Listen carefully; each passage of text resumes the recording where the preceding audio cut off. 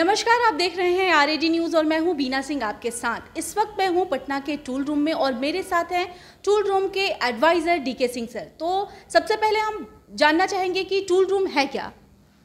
नमस्कार मैडम। पहले तो आपको बहुत बहुत धन्यवाद कि टूल रूम पर आपने एक स्टोरी बनाने का एक निश्चय किया है। मैं बताना चाहूँगा कि टूल रूम एक जो एमएसएमई मंत्रालय, भारत सरकार किया के अंतर्गत ये एक ऑटोनोमस बॉडी है। और ये प्रायः जितने भी हमारे राज्य हैं मंत्रालय के द्वारा लगभग 18 टूल रूम की स्थापना की गई है। टूल रूम का जो मुख्य उद्देश्य है, उद्देश्य ये है कि हम दो तरह से जो अपने, अपना जो मैंडेट है, इसको हम लोग पूरा करते हैं। आप जानते हैं कि जब भी विकास की हम बात करते हैं तो एमएसएमई सेक्टर सबसे पहले अग्रणी सेक्टर आता है। और एमएसएमई को सरकार प्रमोट करने के लिए कई तरह की योजनाएँ सरकार के द्वारा चलाई गई हैं। टूल रूम भी उन्हीं योजनाओं में से एक है, टूल रूम की स्थापना। उद्देश्य ये है कि हम एमएसएमई को सपोर्ट करें एमएसएमई को प्रमोट करें, उनके सस्टेनेबल ग्रोथ के लिए उनको प्रमोट करें। टूल रूम क्या करता है कि जितने भी हमारे इंडस्ट्रीज़ हैं, खास करके जो एम हैं उनको हम लोग, उनके टेक्नोलॉजी अपग्रेडेशन के लिए, उन्हें हम quality tools jigs fixtures mould dies जो कि उन्हें, उनके डे टू डे एक्टिविटीज़ में ये सभी कंपोनेंट्स की आवश्यकता होती है, उसको बनाकर हम लोग एमएसएमई को सपोर्ट करते हैं, ताकि उनके डे टू डे एक्टिविटीज़ या वर्किंग जो है, वो उनका बाधित ना हो। अगर वो कोई प्रोडक्शन का काम कर रहे हैं, अगर कोई कंपोनेंट उनका टूट जाता है तो उसके लिए, वो बनाने के लिए एक बहुत बड़े वर्कशॉप की आवश्यकता होती है, बहुत मशीनरी की आवश्यकता होती है, जो कि एक छोटा सा एमएसएमई इसको अफोर्ड नहीं कर सकता है। इसी उद्देश्य से सरकार ने एमएसएमई मंत्रालय ने टूल रूम की स्थापना की कि जहाँ पर इस तरह की सुविधाएँ एमएसएमई को मिल सके और एमएसएमई का जो प्रोडक्शन है वो बाधित ना हो और उसका जो ग्रोथ है वो बढ़ता रहे। दूसरा जो मैंडेट है कि इंडस्ट्री में जिस तरह का स्किल फोर्स चाहिए, हर इंडस्ट्री को चलाने के लिए लेटेस्ट टेक्नोलॉजी पर जो आधारित जो वर्किंग है, उसका एक उनके जो वर्कर हैं, वो नॉलेज होनी चाहिए। या जिस तरह के वर्कर उन्हें चाहिए, स्किल फोर्स चाहिए इंडस्ट्री को चलाने के लिए तो उस तरह के स्किल फोर्स हम लोग यहाँ तैयार करते हैं प्रशिक्षण के द्वारा। हमारे यहाँ प्रशिक्षण दिया जाता है। तो दो जो मुख्य ये उद्देश्य है, अगर जैसे हमारे माननीय प्रधानमंत्री जी का आत्मनिर्भर भारत जो अभी योजना अभियान उन्होंने चलाया है तो आत्मनिर्भर भारत के में ये एमएसएमई सेक्टर को स्ट्रेंथन करना और जो हमारे यूथ्स हैं उनको स्किल करना, ये दो सबसे बड़ा एक कहें कि फोकस्ड एरिया है कि इसको जब तक हम लोग अच्छी तरह से फोकस्ड नहीं करके इस पर हम तैयारी नहीं करेंगे तो शायद आत्मनिर्भर भारत योजना का जो उद्देश्य है, वो हम नहीं पूरा कर पाएँगे। तो tool room basically MSME industries को सपोर्ट करने के लिए है और दूसरा, जिस तरह के स्किल्ड फोर्स की आवश्यकता है इंडस्ट्रीज़ के लिए, वैसा स्किल्ड फोर्स हम लोग तैयार करते हैं प्रशिक्षण के द्वारा। तो जितने हमारे युवा हैं, जो बेरोज़गार हैं, उनको लिए यहाँ पर ट्रेनिंग की व्यवस्था की जाती है। सर, ये बताइए कि किस तरह की क्वालिफिकेशन चाहिए अगर बच्चों को यहाँ पर एडमिशन लेना होगा तो? मैम मैं बता, जो प्रशिक्षण की जहाँ तक बात है एमएसएमई को जो सपोर्ट करने की बात है, वो तो कोई भी एमएसएमई जिनको भी जो समस्याएँ आती हैं, कोई कंपोनेंट निर्माण के लिए वो हमें डायरेक्ट अप्रोच करते हैं और वहाँ हम उनको बना के देते हैं। उसके लिए जो नॉमिनल चार्ज होता है, हम लोग लेते हैं। दूसरी बात, जब जहाँ प्रशिक्षण की बात है तो हमारे यहाँ कई तरह के प्रशिक्षण कार्यक्रम चलाए जाते हैं, जो हर टारगेट ग्रुप के लिए हैं। जो पढ़े लिखे हैं, उनके लिए भी है, जो नहीं पढ़े लिखे हैं, उनके लिए भी है।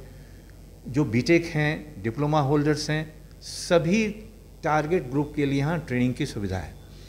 जो अभी हम लोग बेसिकली जो ट्रेनिंग चला रहे हैं, बिहार कौशल विकास मिशन के अंतर्गत भी हमारे यहाँ ट्रेनिंग चलाई जाती है। उसमें जो एलिजिबिलिटी क्राइटेरिया है कि जो भी नवयुवक बेरोजगार हैं इंटर पास हैं या आईटीआई पास हैं, उनको हम लोग इस प्रशिक्षण में लेते हैं जो प्रशिक्षण पूर्णतया निशुल्क होता है। लॉजिंग बोर्डिंग एंड ट्रेनिंग तीनों निशुल्क होते हैं। हमारे यहाँ हॉस्टल की सुविधा है, हमारे यहाँ कैंटीन की सुविधा है। सभी बच्चे ये चार महीनों का ट्रेनिंग दिया जाता है। ट्रेनिंग के बाद हम उन बच्चों का प्लेसमेंट भी करवाते हैं। जो हमारी इंडस्ट्रीज़ हैं, पैन इंडिया, जितनी भी अच्छी अच्छी इंडस्ट्रीज़ हैं, उनके साथ हमारा रेपो है, उनके साथ हम बात करते हैं, उनका यहाँ कैंपस होता है, और जो बच्चे ट्रेंड रहते हैं, उन बच्चों में से उनका सिलेक्शन होकर वो बच्चे ले जाते हैं, लिए जाते हैं, और फिर वो इंडस्ट्रीज़ में अब्जॉर्ब होते हैं।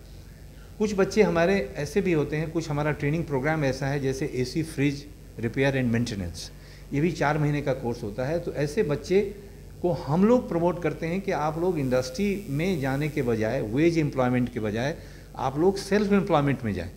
और उसके लिए हम लोग उनको सारा हैंड होल्डिंग सपोर्ट्स देते हैं। लोन की सुविधा टेक्निकल जो गाइडेंस की सुविधा प्रोजेक्ट रिपोर्ट बनाने की सुविधा, ये सारी सुविधाएँ हम उन जो प्रशिक्षणार्थी हैं उनको देते हैं।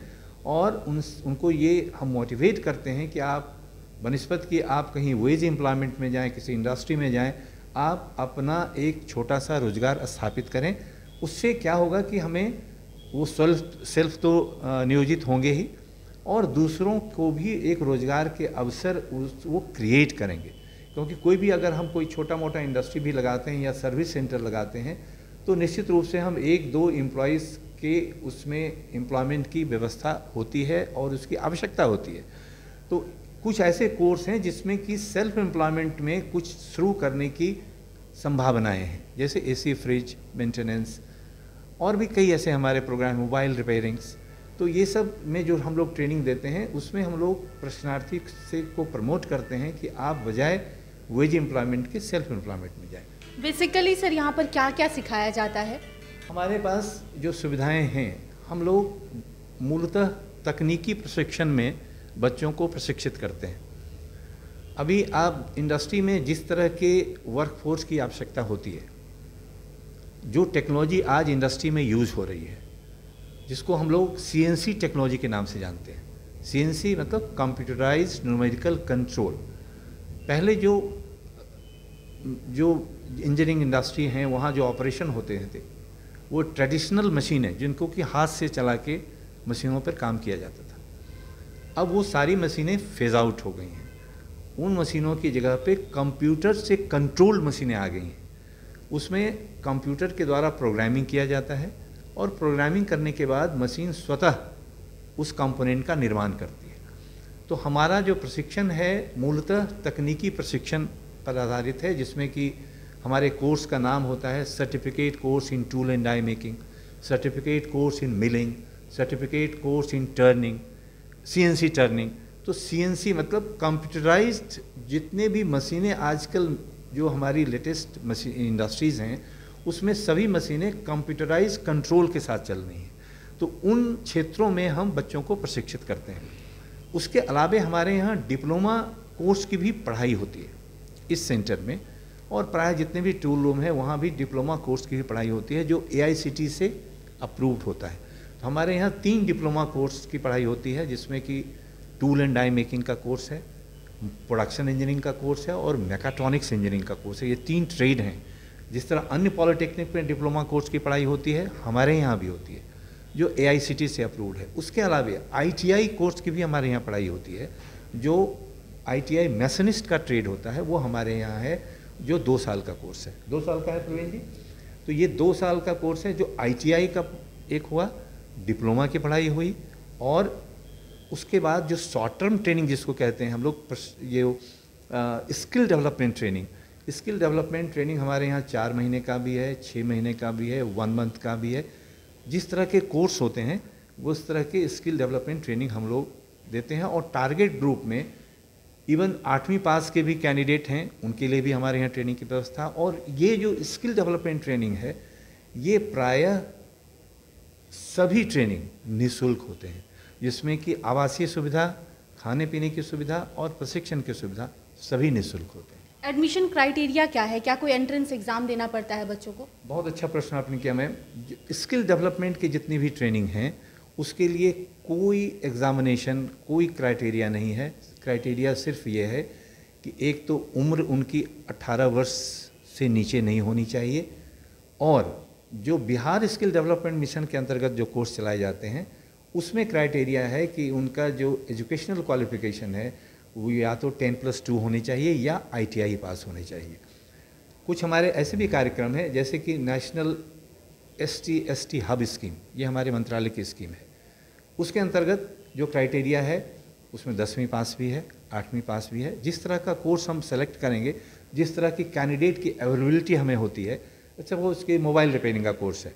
तो मोबाइल रिपेयरिंग में हम मिनिमम उसका जो एलिजिबिलिटी क्राइटेरिया टेंथ पास रखे हुए हैं क्योंकि उसमें कुछ ऐसी चीज़ें हैं कि उससे नीचे के अगर हम बच्चों को लेंगे तो शायद वो नहीं समझ पाएँगे।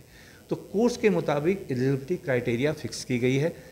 एक हमारा मंत, आप जानते हैं एक मंत्रालय की का गठन किया गया है जिसको हम लोग कहते हैं स्किल डेवलपमेंट एंड आंट्रप्रनरशिप एक अलग मंत्रालय का गठन भारत सरकार ने किया है। उस मंत्रालय के द्वारा जितने भी स्किल डेवलपमेंट के कोर्सेस किसी भी इंस्टीट्यूशन के द्वारा चलाए जाते हैं, उन मंत्रालय ने स्किल डेवलपमेंट कोर्सेज का एक फ्रेमवर्क बनाया है, जिसको हम लोग कहते हैं national skill qualification framework N S Q F जहाँ भी कोई भी ट्रेनिंग अगर स्किल डेवलपमेंट की हम करते हैं तो उसी फ्रेमवर्क में जो कोर्स कंटेंट है, उसी कोर्स कंटेंट के मुताबिक हमको स्किल डेवलपमेंट की ट्रेनिंग चलानी होती है। इसलिए कोई भी कोर्स उसमें एलिजिबिलिटी क्राइटेरिया भी मेंशन है। हर कोर्स के लिए किसी में आईटीआई पास है, किसी में टेन प्लस टू पास है, किसी में आठवीं पास है। तो जो भी जिस कोर्स में जो एलिजिबिलिटी क्राइटेरिया मेंशन है, उसके मुताबिक हम लोग यहाँ लेते हैं। जो हम लोग अभी कोर्स यहाँ चला रहे हैं, वो बिहार स्किल डेवलपमेंट मिशन के अंतर्गत है। उसकी क्राइटेरिया टेन प्लस टू और आईटीआई है। ये कोर्स हमारा ऑनलाइन रजिस्ट्रेशन होता है। बच्चे ऑनलाइन रजिस्ट्रेशन करते हैं और 40 का रजिस्ट्रेशन हो जाने के बाद हम लोग एक 40 का बैच क्रिएट करते हैं। इसमें रजिस्ट्रेशन यहाँ हो रहा है, सभी वेबसाइट पे मेंशन है और सभी का रजिस्ट्रेशन ऑनलाइन होता है। तो कोई भी कैंडिडेट जो उस एलिजिबिलिटी क्राइटेरिया को फुलफ़िल करते हैं, जहाँ तक स्किल डेवलपमेंट की बात है, आपने हम, मैं बताना चाहूँगा कि ये कोर्सेज जो बिहार स्किल डेवलपमेंट मिशन के अंतर्गत हैं, उसमें सिर्फ़ बिहार के ही जो निवासी हैं वही उस कोर्स में भाग ले सकते हैं।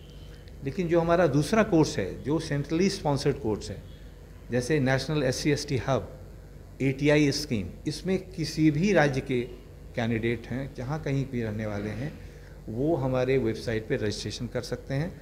और जैसे ही तीस का हम अपना डेली वेबसाइट चेक करते हैं, हमारे जो ट्रेनिंग इंचार्ज हैं, अगर जिस कोर्स में तीस से ज़्यादा का रजिस्ट्रेशन हो जाता है, हम उस, उन कैंडिडेट को यहाँ बुलाते हैं। और सिर्फ़ जो उनका एलिजिबिलिटी क्राइटेरिया है, उसको चेक करते हैं। कोई कोई इंट्रेंस नहीं, कोई इंटरव्यू नहीं, क्योंकि हम स्किल डेवलपमेंट कर रहे हैं। हम चाहते हैं कि जो हमारे यूथ्स हैं, सभी स्किल्ड हों। इसलिए उसमें इंट्रेंस का कोई सवाल नहीं पैदा होता है। सिर्फ़ ये होता है कि जिस कोर्स के लिए वो आ रहे हैं, उसकी एलिजिबिलिटी क्राइटेरिया जो है, वो उसको मीट कर रहे हैं कि नहीं। कोई टेस्ट नहीं, कोई इंटरव्यू नहीं। आते हैं, तीस की संख्या हो जाती है, हम उनको ट्रेनिंग उनका स्टार्ट कर देते हैं। बिहार में इंडस्ट्री के लेवल पे देखें तो सर इतना इंडस्ट्री नहीं है और अगर हम अपने पड़ोसी राज्य को ही देख लें, रांची जो है, वहाँ के टूल जो रूम है, वहाँ बहुत डिमांड है, बच्चों, बच्चे भी बहुत ज़्यादा जाते हैं। क्या बिहार में ये क्राइटेरिया पूरा होता है, जो बच्चे हैं, वो डिमांड हैं इसमें डिमांडिंग है? देखिए मैम जहाँ तक बिहार की बात है, आप जानते हैं, बिहार को युवाओं का राज्य कहा जाता है। हमारे यहाँ युवाओं की जो जनसंख्या है खास करके पैंतीस से मतलब 25 से 35 के एज में, वो हमारे यहाँ हम, कहा जाता है कि यूथ हमारे एसेट हैं। एक ह्यूमन रिसोर्स है हमारा। तो जहाँ तक प्रशिक्षण की बात है, मैं समझता हूँ यहाँ पर प्रशिक्षण का जो रिस्पॉन्स है बच्चों का, वो झारखंड से अधिक है। प्रशिक्षण की बात इंडस्ट्री झारखंड में निश्चित रूप से अधिक है। वहाँ हम एमएसएमई को सपोर्ट यहाँ से ज़्यादा कर पाते हैं।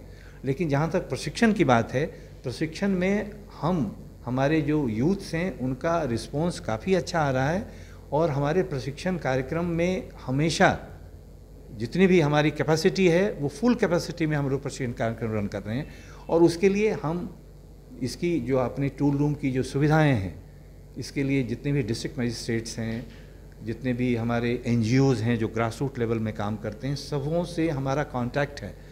हम जब ट्रेनिंग प्रोग्राम अनाउंस करते हैं तो सबों के, सबों को हम अप्रोच करते हैं, सबों के पास हम अपनी पब्लिसिटी करते हैं कि आप अपने कैंडिडेट को हमें भेजिए। उस, क्योंकि हमारी मशीनरी उतनी नहीं है कि हर राज्यों, हर ज़िलों में जाके हम अपने अपने ऑफिसर को भेज सकें, लेकिन हर डिस्ट्रिक्ट मजिस्ट्रेट से हम कॉपरेशन लेते हैं और वहाँ से उनका कॉपरेशन मिलता है। अभी बेतिया से जो डिस्ट्रिक्ट मजिस्ट्रेट हैं, उनके द्वारा लगभग 100 एसटी के बच्चे हमारे यहाँ भेजे भेजे जा रहे हैं। उनका रजिस्ट्रेशन किया जा रहा है। तो इसकी जितनी भी जो प्रशिक्षण में जो रिस्पॉन्स है हमारे राज्य में, वो अन्य राज्यों से बेहतर है।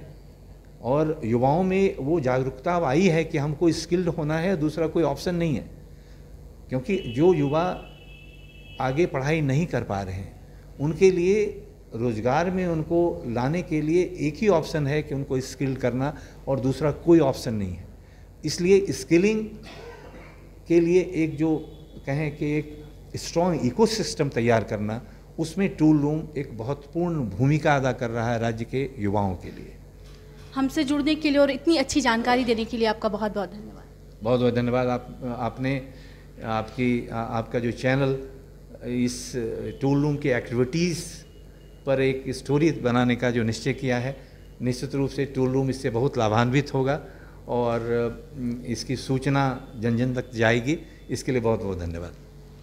तो ये थे हमारे साथ टूल रूम के एडवाइज़र डी के सिंह, जिनका कहना है कि बिहार के युवा जो हैं, वो अगर स्किल डेवलप करना चाहते हैं, इस क्षेत्र में रोज़गार ढूंढना चाहते हैं तो वो यहाँ आकर मुफ़्त में बिना किसी एंट्रेंस एग्ज़ाम के अपना एडमिशन करा सकते हैं और अपने भविष्य को संवार सकते हैं। तो अभी हमने विस्तार से जाना कि टूल रूम क्या है, आपको हमारा ये कंटेंट कैसा लगा, हमें ज़रूर बताया साथ ही हमारे चैनल को शेयर करना लाइक करना और सब्सक्राइब करना ना भूलें। धन्यवाद।